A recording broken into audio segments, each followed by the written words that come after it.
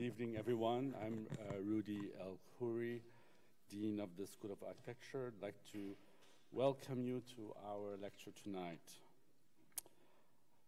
And as always, I'd like to begin by thanking our sponsor, Tecnoglass, whose generosity actually allows us to sustain the great ambitions we have for our lecture se series, such as with the possibility of tonight's event. Tonight, our speaker, uh, Guy Nordenson, will present Climate Adaptation and Coastal Resilience, a title that we, would be fitting for our entire lecture series this year, and a topic that is of critical importance for Miami, given that our city is widely considered ground zero for sea level rise vulnerability. Guy Nordenson is a structural engineer and professor at University, uh, Princeton University. He launched his independent practice in 1997 after establishing and leading the New York office of uh, Arup.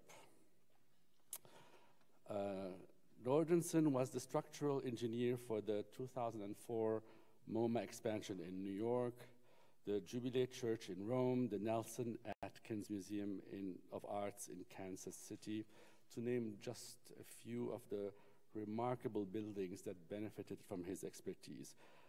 Recent projects include the expansion of the Kimbell Art Museum in Fort Worth, the National Museum of African American History and Culture in Washington, D.C., and the Menil Drawing Institute in Houston, Texas.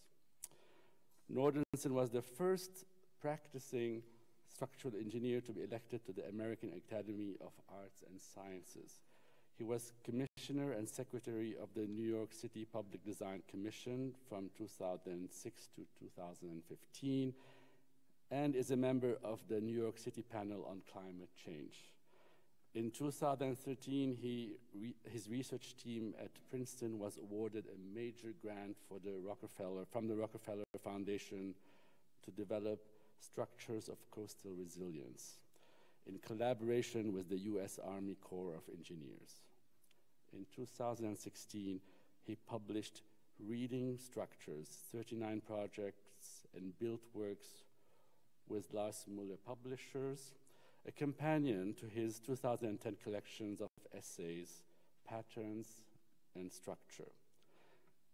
Now, please join me in welcoming Guy Nordenson.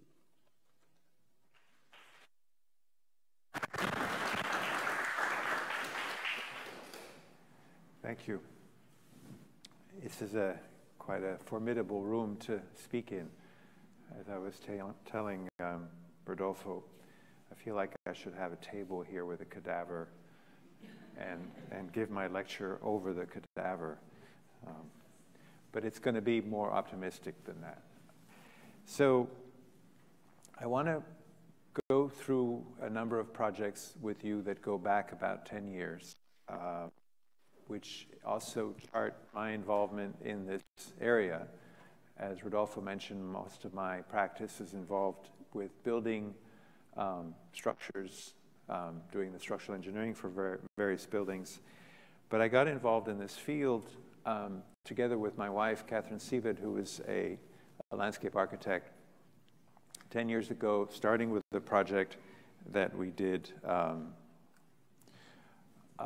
which I'll show you, uh, supported by the American Institute of Architects. I'll briefly talk about that project, which we call Palisade Bay, and then go through briefly also an exhibition that came out of that, and then sp spend most of my time talking about the, the structures of coastal resilience project that Rodolfo mentioned. We applied actually at the instigation of my dean at the time at Princeton, Stan Allen, for a grant uh, from the AIA, which is called the Latrobe Prize. And at that point, I had been working for a number of years after 9 11 down at Ground Zero and had been involved in a couple of projects thinking about not just the redevelopment of Ground Zero after 9 11, but also the, the, the larger region and some of the issues related to the placement of some of the facilities, for example, the television tower um, that was on top of the World Trade Center towers, in other locations around, around the region. And that got us thinking in general about the New York Harbor and the Bay. And so when uh, Stan Allen suggested that we get involved and apply for this grant, it occurred to me that there was an opportunity to think about the, um, the New York City harbor, particularly the upper harbor between the Verrazano Bridge and Lower Manhattan, as an opportunity to consider ways to adapt to sea level rise and other effects of climate change, but also to use that as an occasion to rethink this as a kind of public space for the city. So this is an image that we produced for this research in the book that we published that I just showed you on the water, which looked at ways in which the transformation of the coastline and the harbor could become an opportunity to create a number of advantages to the ecology, to the local ecology, but also give this body of water a sense of place um, for the region as a whole. So multiple objectives, multiple agendas in parallel, driven by the necessity to think through what sea level rise and, um, and climate change would do for New York. For example, one of the effects of sea level rise, as you all know, is to uh, make hurricane and other storms uh, impact more severe since you're starting from a higher level. But another effect is to submerge the existing wetlands and other coastal features because of the sea level rise and lose the advantages that they have to offer to the bay. Since most of the edges around a place like New York City are hard after a certain point, once the sea level rises, you don't have the opportunity to migrate those wetlands um, further upland because there are things in the way. And so one approach to dealing with that is to build more um, ecological systems, wetlands, islands, other things in the, um, in the bay itself. This, at the time, went against some of the um, preconceptions about what was environmentally acceptable. There had been in New York for a number of years the sort of residue of resistance to any kind of intervention on the water or in the water that resulted from the battle over the West Side Highway that lasted for a long time in the, in the 80s mostly.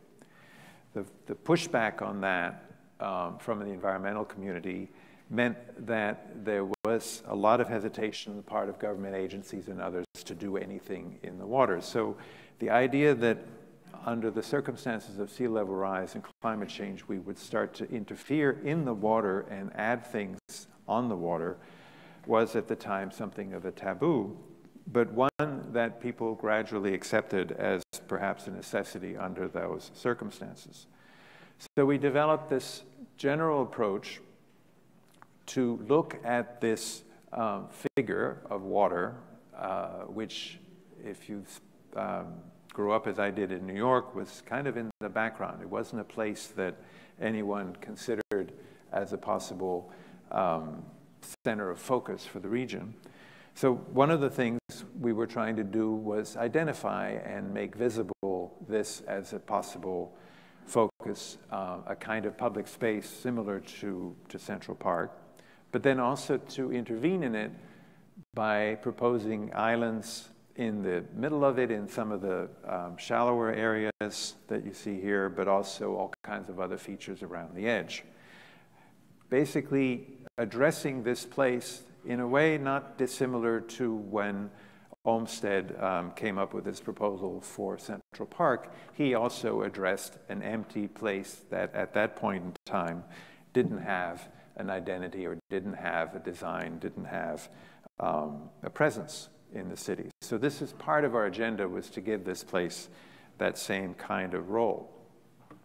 Another part of the agenda was to look at ways in which design and this approach to the um, definition of this as a public space would also marry to uh, scientific um, research and investigations into what the actual um, benefits might be of these interventions and how they might interact with floodwaters. So to start that, we built a digital model that incorporated both the bathymetry, the underwater topography, and the on-land topography in one continuous model.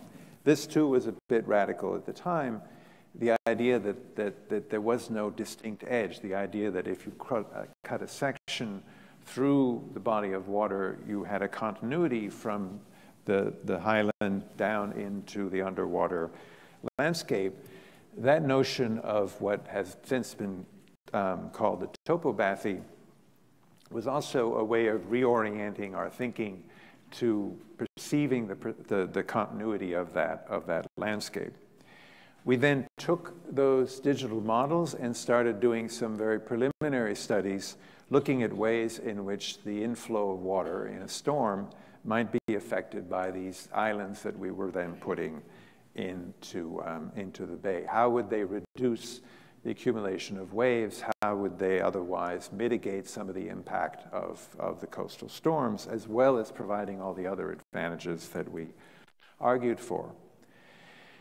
We were working together with Adam Yarinsky and Steve Cassell at Architecture Research Office, and their team also spent quite a bit of time investigating on this water table that we borrowed from the University of Michigan, ways in which the, the fluid dynamics uh, around certain types of forms could instigate ways of thinking about the shaping of islands, how we might generate both from the grid of the city but also from the fluid interaction of land and water, these patterns which were then deployed as part of the design proposal for what could be done in, in lower Manhattan. This was the first of a series of projects um, that we developed in this um, research effort 10 years ago, which has led since to many other um, strategies and proposals for what to do in lower Manhattan, all of which take on this notion that you build in the water, you soften the edge, and you provide some amount of protection, but you do all these things together. So having finished that research and the book, I then spent some time um, talking it through with, uh, with Barry Bergdoll, who was the curator, uh, chief curator at MoMA at the time, I had done some exhibitions together with um, Terry Riley before, and I'd been the engineer for the museum as well. So I had a relationship with MoMA and tried to um, sell them on the idea that we could take this topic and use it as a basis for a, um, an exhibition. The actual way in which it got organized ultimately in this project, Rising Currents, was um, the creation of Barry Bergdoll, who came up with the idea that we would invite a series of New York-based architects to look at the research that we had concluded and take on projects around the Upper Harbor, developing further and in more detail the ideas that we had advanced, and do that in a workshop at the museum. The interesting and, and, and rather original idea in this was that the museum had committed to exhibiting, exhibiting works that they weren't sure, which they didn't know what, um, what they would be. So the workshop itself was, was set up to produce the work that later went into the exhibition. What was nice about the workshop, um, where the five teams worked on these five areas that we had identified, was that through that process they were bouncing ideas back and forth amongst themselves. There was an element of competition, of course, but we were also able to bring a lot of agencies from around the New York and City and New York um, State region to talk about this subject. And at the time, this was novel. And for them, the notion that there could be potential corollary benefits to climate adaptation was something um, fresh. And also the importance and, and imperative of trying to address this problem um, was not yet quite on their agenda. So the workshop, the museum exhibition was a tool as well to promulgate these ideas and get a discussion going between the various agencies um, in the city and, and the state. This is the exhibition itself, which included a whole series of models and drawings um, and is, is contained in a catalog that was published um, uh, shortly after the exhibition, which is still available, called Rising Currents. After that, uh, the, the, the, the, sort of thinking behind both the research and the exhibition was incorporated in a plan produced by uh, Amanda Burden and the Department of City Planning in New York. And already, as you can see from the cover of the plan, they had appropriated this notion of continuity between land and water broken, breaking away from the, the, until that point, conceptual categorization that it existed, that there was this waterfront, that, that the land stopped and something else started along this hard line, rather thinking that perhaps it was time to consider the dynamic character of that line, both with tidal changes, with ecological changes, and of course, with the effect of sea level rise. So as Amanda Burden said at the time, we had, we had changed the DNA of the city and invented what she called the sixth borough of the city, which was um, the water.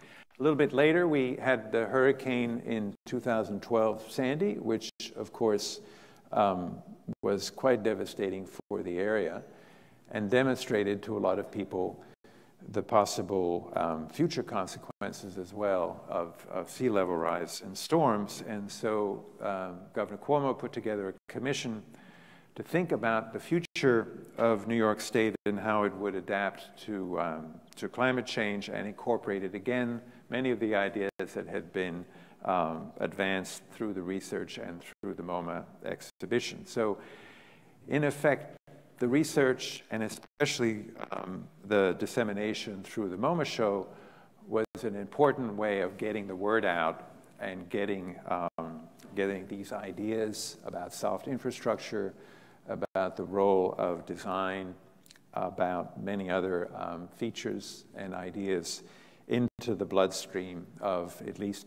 um, New York State. It's important also, I think, to, to um, identifies well this structure that Barry Bergdoll had um, created that we worked on with Rising Currents of the competitive process of design and of the leadership that designers could have in uh, advancing these novel strategies. And this is a methodology that has been since adopted through many other um, uh, initiatives like Rebuild by Design or Changing Courses um, which I think you've heard of from, from Henk Ovink and, and, um, and David Waggonner. So finding a role for designers, giving them uh, an opportunity to think how these changes could contribute positively to both the urban um, environment and the ecological environment was a big, I think, um, contribution of that, um,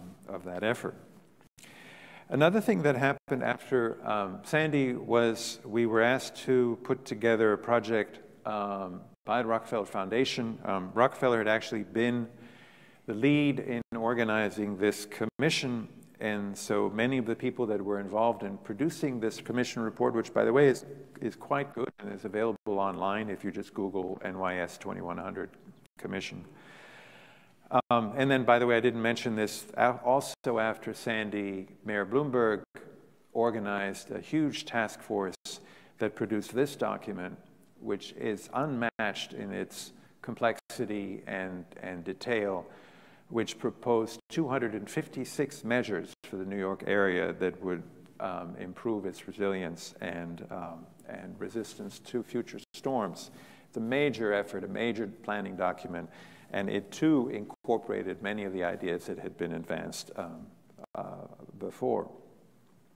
So now, with this project, we had an opportunity here to deepen what we had been doing um, on the earlier projects, bringing together design teams, in this case, led by landscape architects. So we worked with um, four different universities. Uh, Paul Lewis, my colleague at at Princeton led one team. My wife, Catherine Seavitt, led a landscape architecture team at City College. and um, there were two other teams at Penn State and, and the GSD, uh, the GSD one led by, um, by um, uh, Michael Van Valkenburgh.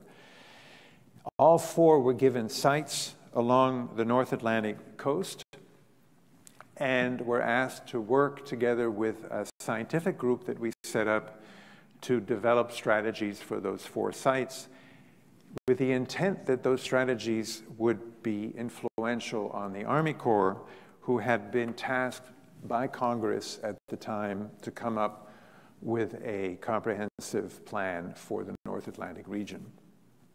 Now, I don't know how much you know about the Army Corps of Engineers, but it's a very interesting organization historically, and if you're um, um, if you have any interest, there's a very good book called Structures in the Stream, which tells the story of, of the Army Corps. It was founded early on in the, in the Republic um, in conjunction really with the founding of West Point, and both were modeled after a French um, example, particularly the um, École Polytechnique in Paris, which combined science, technology, and military, and was um, intended to build a cadre, to educate a cadre of engineers who would be able to oversee the regional planning of the country. So the planning of infrastructure, of waterways, and other um, uh, aspects of commerce around the country that was organized not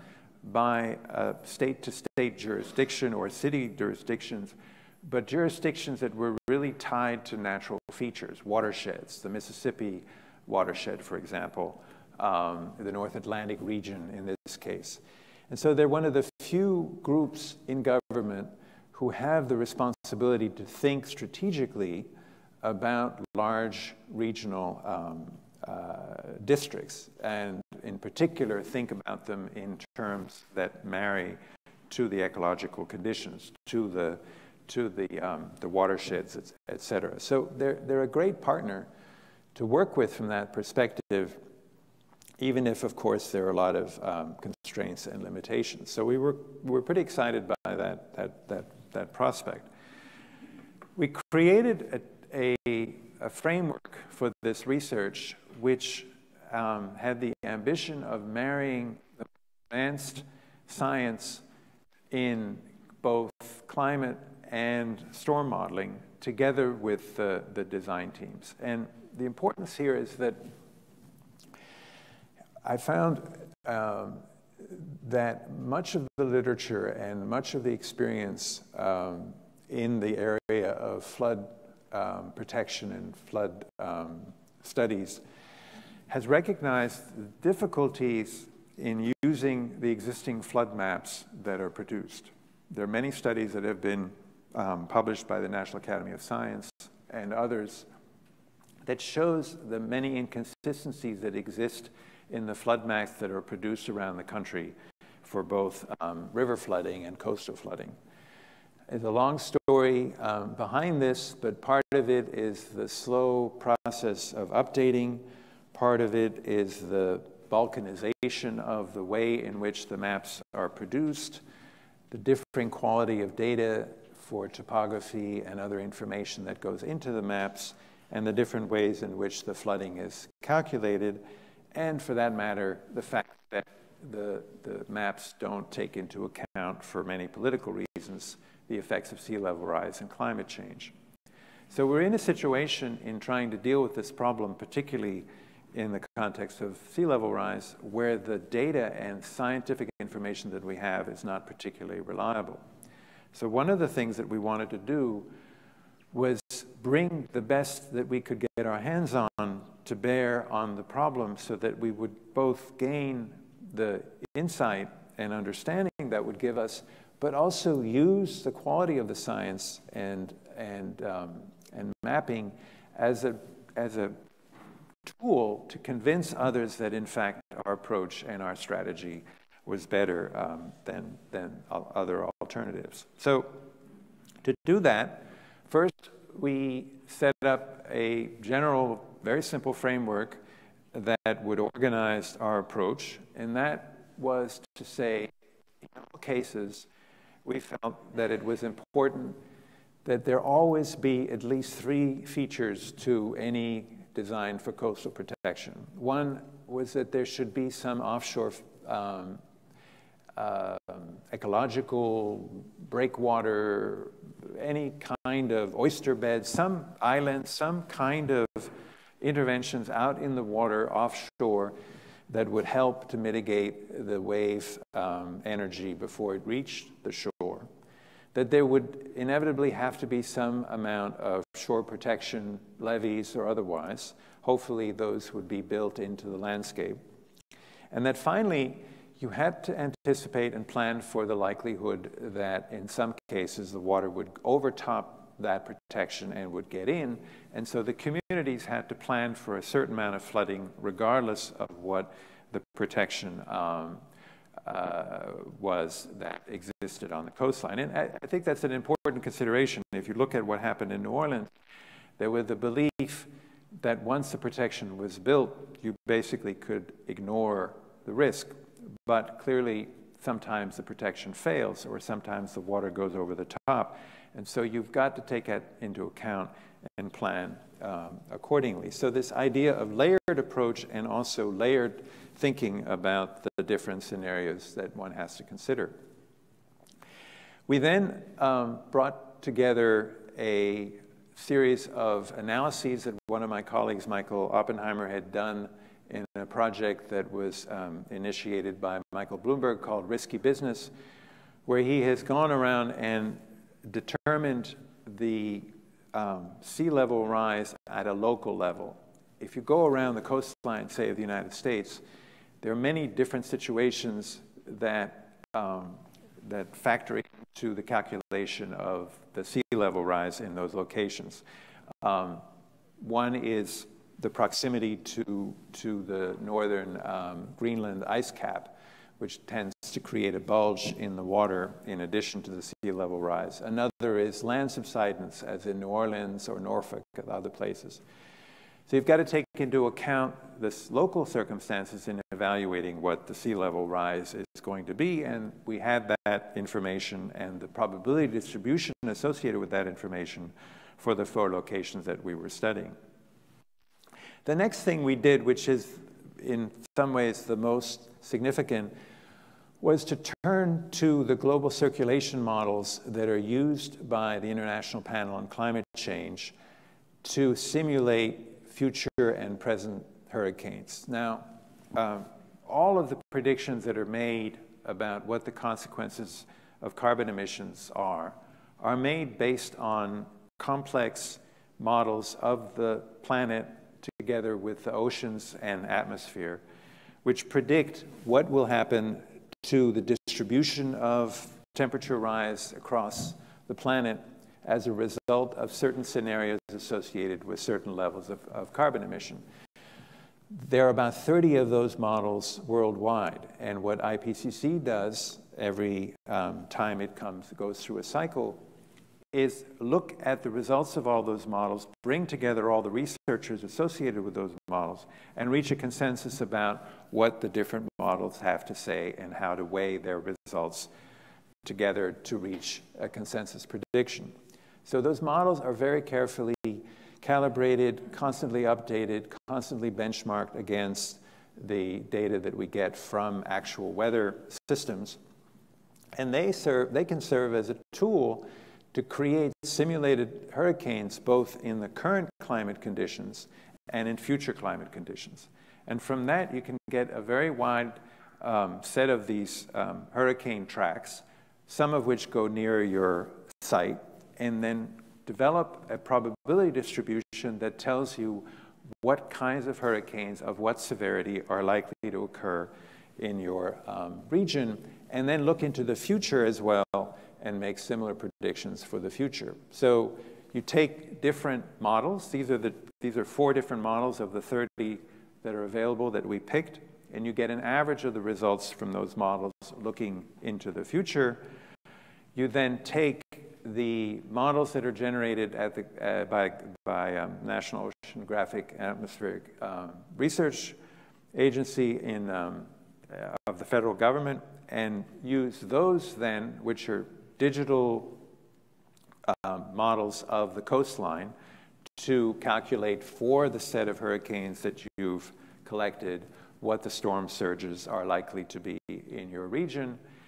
Go to the topobathies that you've created for each location, similar to the one that I show you for the New York Harbor, and then develop inundation maps for the four different locations based on that calculation. So, so basically, we start fresh, and we use uh, an approach that allows us to look both at present and future conditions and take into account the changes in the atmosphere, the changes in circulation that will result from um, the increased temperature um, associated with certain emission um, scenarios.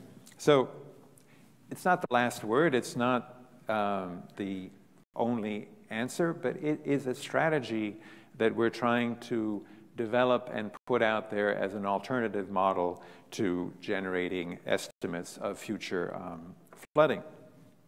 So what do we get out of that? We get these matrices, which I'll show you in a little bit more detail, one for each site, which look at a slice across different probabilities in the vertical direction, floods that occur on a regular basis, all the way down to, at the bottom of the table, floods that are extremely rare and then how that will change over time advancing into the future, and picture in that way the general um, situation really that any kind of flood protection design has to, has to deal with. So let me show you two examples um, in conclusion. One is for Jamaica Bay. Well, Jamaica Bay is an interesting um, situation is huge. It's, uh, you know, the Rockaways are about the same length as Manhattan, so it's a very large um, part of the New York area.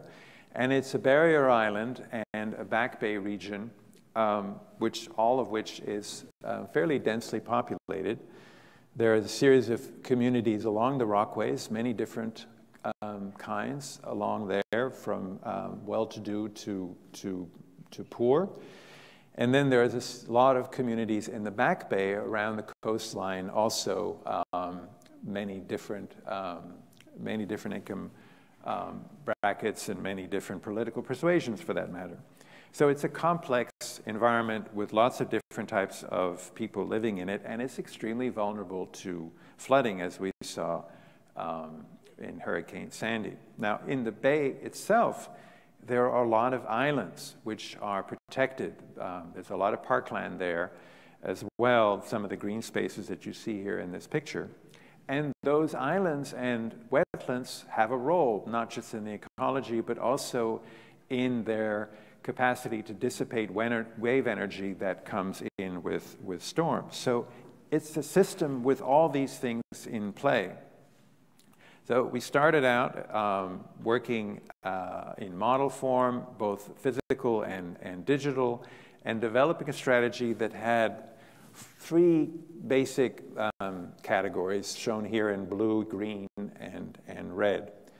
The first um, strategy was to create a series of overwash um, channels, if you will, some all the way over there on, the, on your right, would be actually pipes going under the, under the barrier islands. Others would be overland. And the intention here was to create more circulation between the water coming in from the outside and inside on a regular basis. There's a lot of stagnant water and some pollution in there. And so one of the things that we wanted to try to do as part of this project was to improve the water quality by flushing some of that water in and out with the tides. The other advantage in some cases would be in some floods that this would also be a way to bring sediment into the back um, bay region. There's a problem of getting enough of dirt really into that um, back bay because everything has been paved all around. You know, going back in history, there always used to be runoff coming into the bay, and so it was being fed on a regular basis by that soil. That doesn't exist anymore.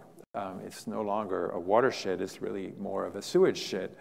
So how to get more land, how to get better quality water in and out was, was part of this strategy. And so that would mean some interventions along here in this um, Fort Tilden Park area, for example, that would allow for that um, to come um, in and out. The next step was to find a way to allow the islands to keep up with sea level rise in a more natural fashion. And, and Catherine Seavitt came up with this project, um, uh, invented the notion of using a system of atolls inspired by the atolls in the Pacific. You would build a ridge around the islands and then bring sediment in either artificially, uh, bringing in sand or through these overwash um, channels to get that sediment circulating and then captured within these atolls to build up um, to build up the islands and allow them to keep up with sea level rise, rather than coming in and rebuilding and rebuilding the islands as the Army Corps normally does. This would hopefully be a more natural and steady and continuous way of maintaining those, um, those islands. This is the one project actually of our entire research effort that the Army Corps has adopted and now incorporated into their Jamaica Bay plan. So there will someday be atolls with my wife's name on them.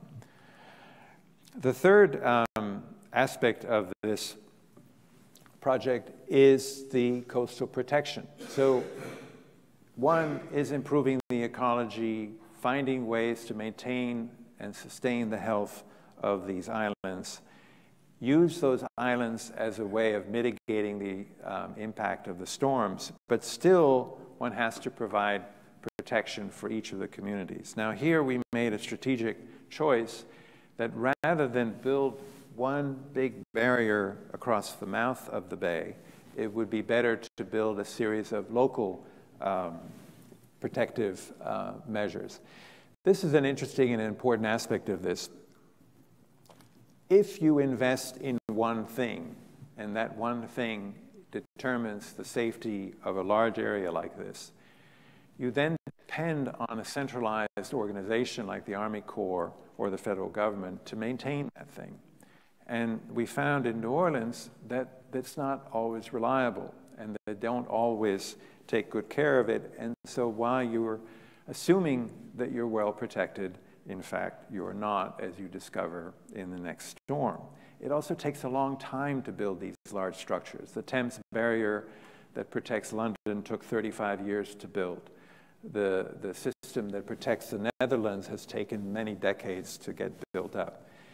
If, on the other hand, you go to a more localized protection, you're, you're, you're going with a tradition that goes all the way back to the polder systems or the levee boards in the United States, the polder systems in Holland, where there's potentially a much more localized system of, of maintenance and, and, um, and monitoring.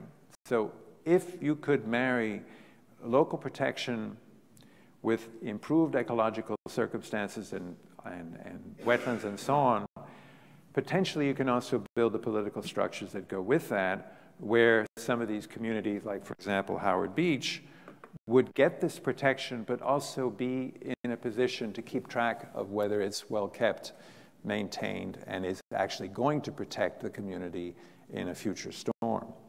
So we opted for this approach and developed these um, sketch uh, versions of how that, uh, that might look. And we, we now have a project that we are just starting on, funded by the National Science Foundation, where we're looking more specifically and in more detail at these, at these communities. This happens to be a community that voted enthusiastically for Donald Trump. Um, so it's going to be a lot of fun to go in there and see what they have to say about sea level rise.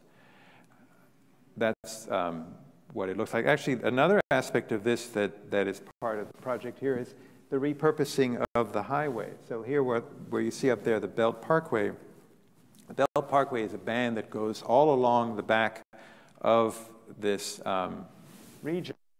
And it would be quite sensible to work with the transportation um, uh, system there and use that as the line of a potential levee to protect the areas behind it. So lots of ways in which one can find opportunities to multi-purpose um, different aspects of, of the infrastructure.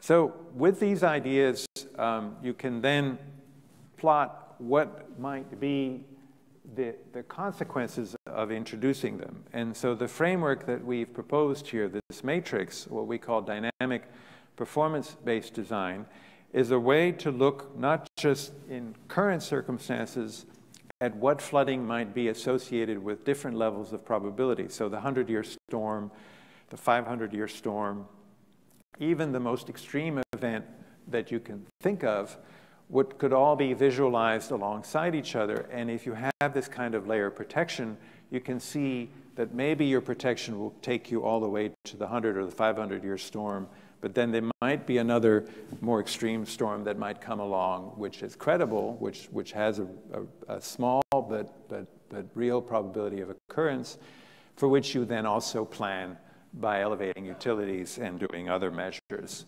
to prevent a, a catastrophe. You can then also look in future time windows using these global circulation model um, tools at how these hazards are going to change over time. So the 100-year um, flood today is the 30-year or 20-year flood in the future. And so you can start to see the changes in those um, hazards over time. So here again, looking at the Howard Beach area, you can toggle back and forth between these um, scenarios and maybe even chart the slow implementation of a project because nothing gets done all at once. So you've got to have a way of framing the evolution of your project against the evolution of the, of the hazard. So, um, oh, and the last thing we've been doing is pointing out the fact that different ways of approaching the storm calculations give you different results. And this seems fairly obvious, but if you go to the standard um, FEMA maps for flood insurance, they draw a line and say that if you're on this side of the line, you have to buy insurance, and if you're on that side of the line, you don't. The implication is if you're on this side of the line, you'll get wet, and on that side of the line, you won't which of course is ridiculous.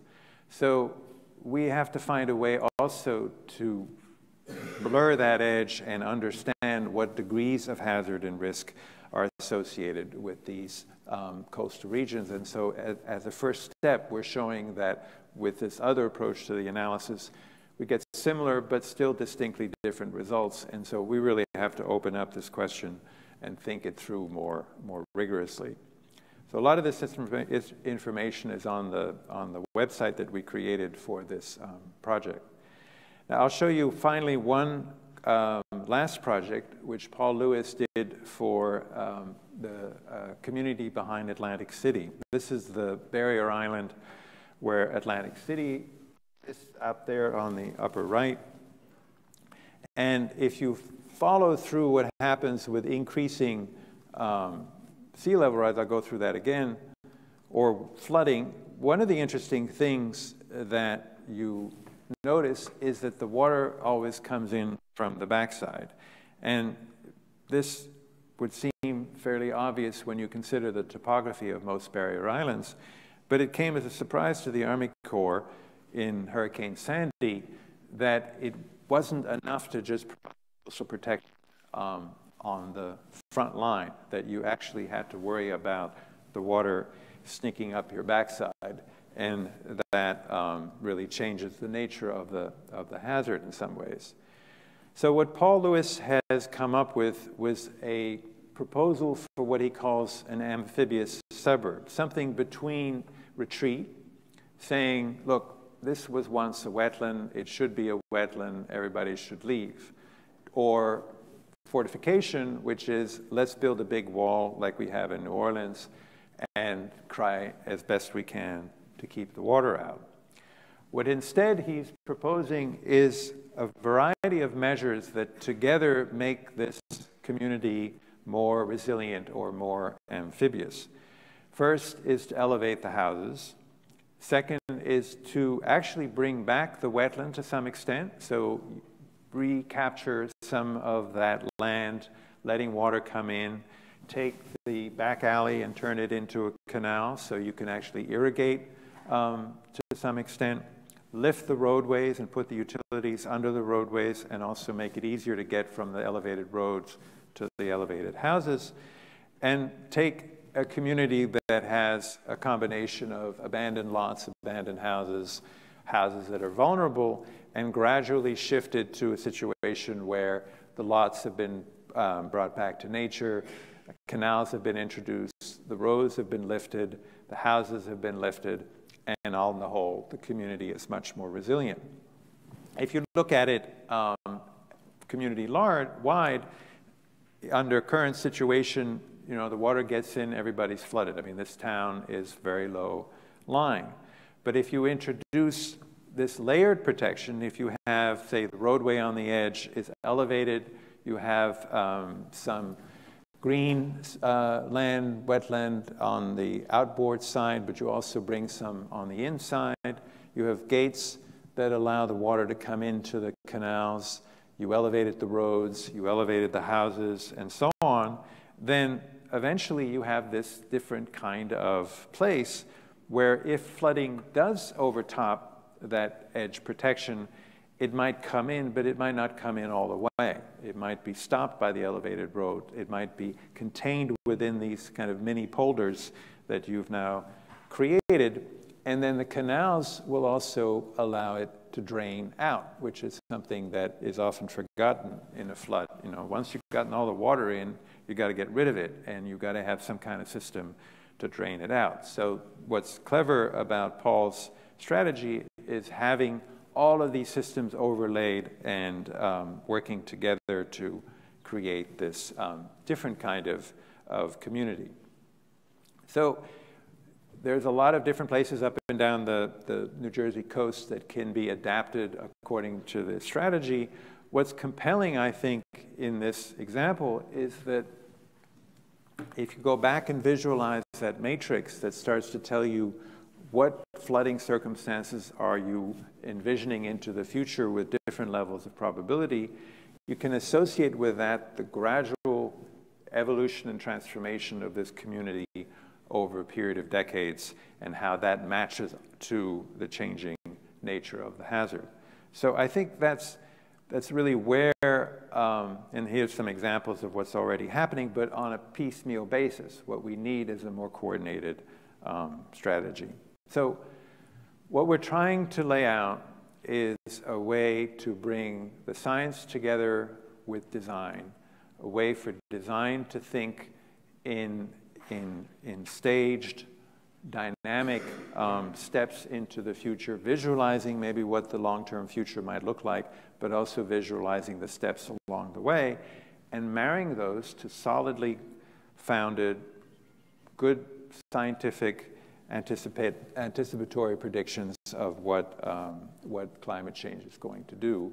And I think with all of that, we could potentially um, address many of the difficult problems that we face. Thank you.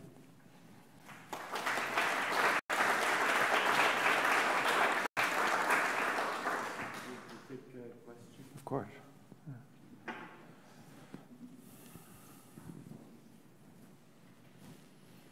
Yes, ma'am.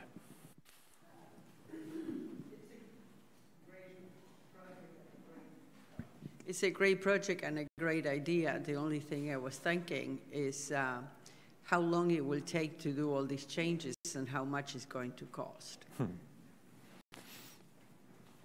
Um, well, those are related, right? I'm sorry? Those are related. If we had yes. enough money, it would go faster. the thing is go faster than the water coming in. Um, you know, the, the town of Galveston in Texas was obliterated by a hurricane in the early part of the 20th century. And what they did was um, built a big seawall, 20 foot seawall, and elevate the town about 15 feet, the entire town. Um, you know, I think we're, we're kind of, um, we're paralyzed by a number of different completely unnecessary obstacles one is our hesitation to raise the taxes that are necessary to do what we need to do. If we don't, for example, I mean, take, take Miami, right? There's a tremendous amount of wealth built into all the real estate that you see going up, all of which will be in deep doo doo in 20 years. So, do you want to see that wealth go up in smoke? Or do you want to institute some tax system that will pay for the kind of protection that will protect that? And maybe people care about that, or maybe they don't. But if they do, the wealth is there. It's just there are these ideological obstacles that get in the way. You know, that climate change is not real, that taxing is evil, that all these other things, which is a strange mindset. It's like if you have cancer and you keep smoking. If it doesn't make that much sense. Now, maybe you decide you're going to die and you enjoy cigarettes, and so you'll keep smoking and then you'll die. Or maybe you decide that you want to have a different kind of future. I think, you know, you could get really pessimistic considering what's going on in Washington and what's going on in many states in the country. And even, you know, even in my state, in New York, I get frustrated, even though we have a progressive mayor and a progressive governor, they don't quite yet know how to get it together. And it's going to take a revolution. People are going to have to start to think that it takes some investment to do what's necessary. How much money do we spend in the military? You know, how much money do we spend in Iraq? Spend about a trillion dollars in Iraq. You know, we could have a high-speed rail system in this country for that money. So we make decisions and we bear the consequences, but that doesn't mean we have to keep being forever stupid. You know, the money's there. There's no question about it.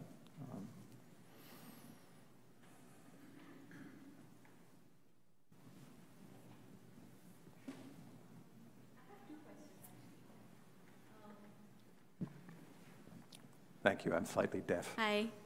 Is this better? Okay. I have two questions. I'm actually doing um, research very similar to what you are talking about, and thank you so much for sharing this presentation. Uh, my two questions are for New York per se. Um, did you, sorry, also consider the snow versus no snow scenario? Like, does that add to your problem of water management uh, for the city? And the second question is, um, has there been any sort of research on using productivity of wetlands to support the community as a like a I can't hear you that well. So the first question was about snow? Yeah, the first question is about snow management, I think. And the second is if you've uh, looked at productive wetlands, like um, making use of the wetlands just not for the uh, hydrological part, but also for like agricultural as well. Productive? Wetlands. Like you can actually grow stuff to like have food security or locally produce food in the wetlands. Oh yeah, well, the, the, so I'm I, I'm no expert on either of those questions. Um, in terms of snow, you know, part of the problem with climate change is the increased um, moisture in the atmosphere, and so we end up with very severe rainstorms and snowstorms. So we have a lot more stuff to deal with. I think the city has been doing a pretty good job of preparing itself for when it comes and anticipating that there might be more than they think. We had a few bad um, cases a number of years ago, but now, so far, they've done a good job with. Um, I mean, I know in Boston a couple years ago they had a really bad snowstorm and they had a lot of trouble getting the snow out. Productive wetlands is a great question. Um, I mean, one of the metaphors that has been driving a lot of these ideas is the, the, the oyster, you know, as a kind of filtration, um, ecological filtration device. And so there's a lot of, um, a lot of interest and a lot of groups that are mobilized to bring oysters back into New York Harbor, not so much for eating, but as a way to help the health of the ecology is a fair amount of work in trying to um, build um, nurseries for seagrass, to replant seagrass. So it, it's more in terms of improving the, the ecological benefits, rather than food. But I, I, you know, it probably leads in that direction.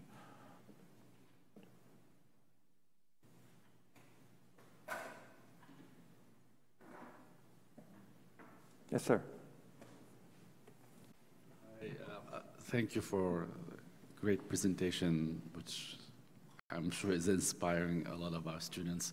I'm just wondering if you have looked at uh, Miami or South Florida, or uh, have the intention of looking at as a case study also for your group, given its uh, the unique uh, geology and hydrology that offers more challenges also. I have a student working right now on, on South Beach. Um, I think I'm just learning at this point, you know, the, the unique circumstance of the porous stone makes the Florida situation very, very different. Uh, you can't keep the water out in the normal ways. You know, I, I, I haven't come up with anything better than elevating, you know, and um, I, don't, I don't quite know how else. But then there's all kinds of other complex issues with the aquifer and other, which you all know more about than I do. I would, I mean, if, if I, one of the ways that I would try to approach this is to start by making sure that there is a good foundation in understanding what we're dealing with. You know, what, what really are the best um, estimates of what sea level rise is going to look like here, what's going to happen to the hurricanes, what kind of um, inundation to expect from the hurricanes, and just sort of face up to the, the hazard. Is it five meters? Is it 10 meters? You know, what, what are we dealing with? And then I think we were talking on the way here about the um, importance of certain neighborhoods for their cultural heritage quality. Um, my student was working on, on Miami Beach, you know, pointed out that there are certain parts of Miami Beach, the, the, the Art Deco areas, other um, there's a, I think, a three block area that has a lot of older buildings in it. You know, starting to think about the conservation, preservation, and protection of those places. You know, maybe there are certain places that need to be elevated to protect cultural heritage. I, you know, there's all kinds of piece by piece steps that could be um, initiated. I, I, don't think there's a single solution. You know, there has to be um, a mosaic of, of strategies. Um, more canals, more, more ways for the water to get in and out. Um, it's a huge problem.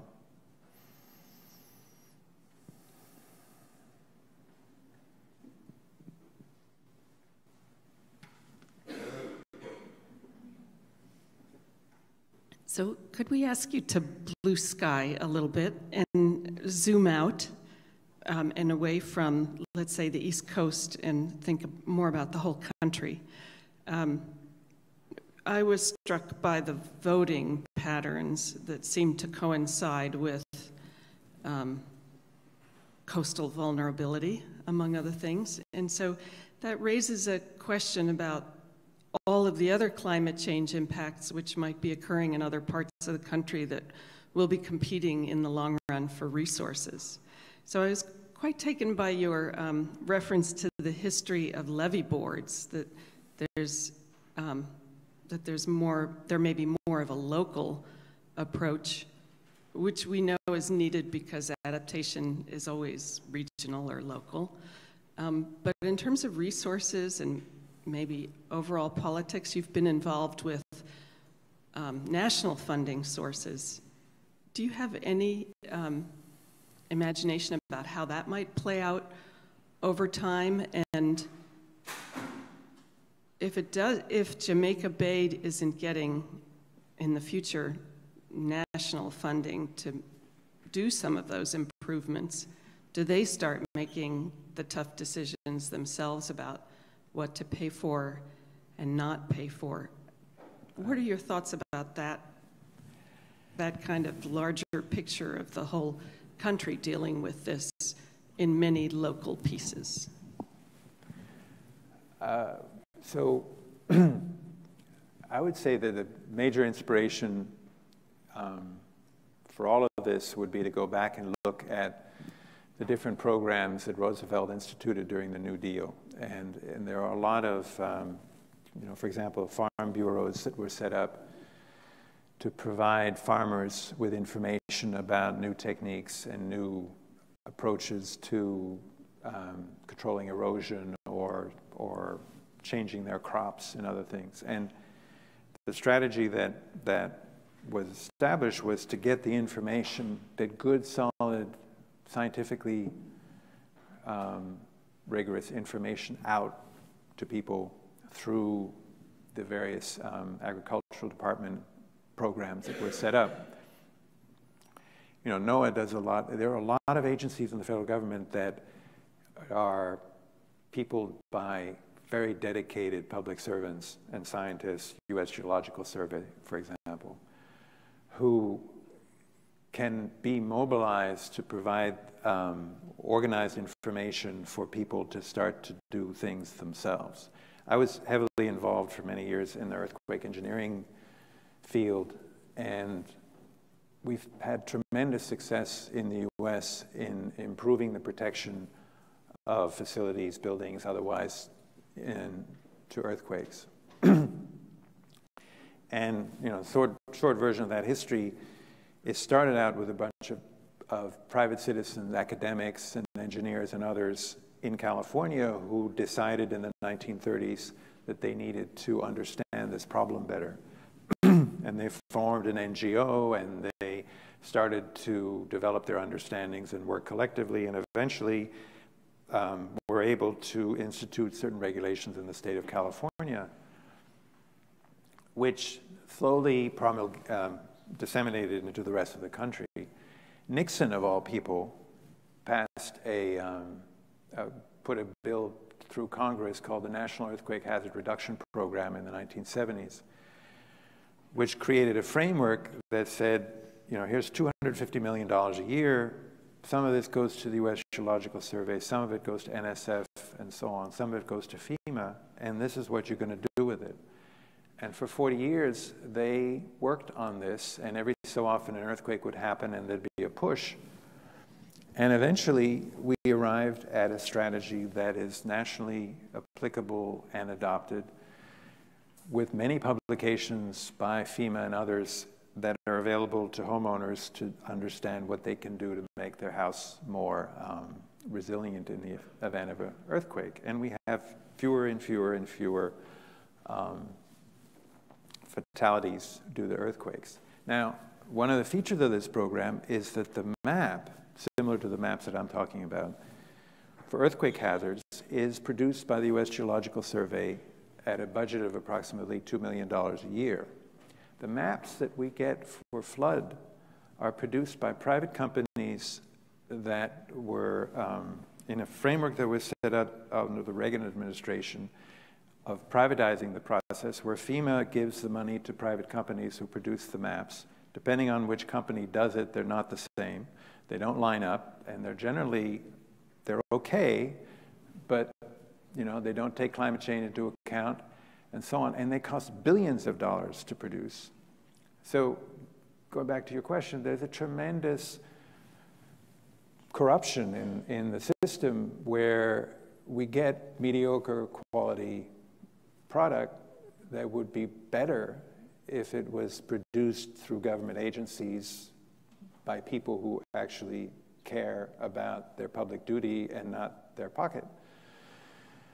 And would then have this information available, you know. So I think there are a lot of lessons to be learned from the New Deal. A lot of the kind of, you know, thousands of experiments that Roosevelt was, was famous for, which is how we should try to go after this, um, based on good information, so that people have available to them the tools, the information, the understanding that they need to do, as you say,